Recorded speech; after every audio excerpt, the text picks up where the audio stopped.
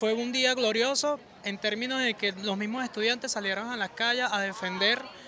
frente a una dictadura que se estaban marcando en, ese contexto. Para nosotros como Fabricio Ojeda fue importante en esa batalla, fue importante en esa lucha en su momento y, vino desde el seno de los estudiantes, impulsó desde el seno de los estudiantes una lucha contra toda la discriminación que se estaba realizando en su momento. Nosotros hoy tenemos que reivindicar el 23 de enero como parte de esa lucha, porque gracias a, lo gracias a esas luchas, gracias a esos caídos, gracias inclusive a esos mártires del 23 de enero, hoy podemos decir que tenemos una revolución bolivariana, hoy podemos decir que contamos con algunas con algunas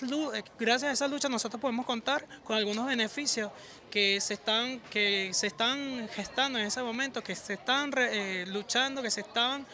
contraponiendo eh, frente a un gobierno que no quería absolutamente que los jóvenes, que la educación para la mayoría de la población existiese o que tuvieran esa posibilidad, sino para unos cuantos. Entonces podríamos decir que esa lucha del 23 de enero tiene una gran importancia para nosotros en este contexto, en esta, en esta nueva nación, en este nuevo concepto de gobierno bolivariano.